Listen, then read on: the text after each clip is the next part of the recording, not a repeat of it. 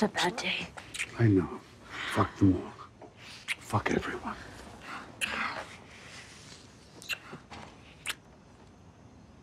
Did you hear that?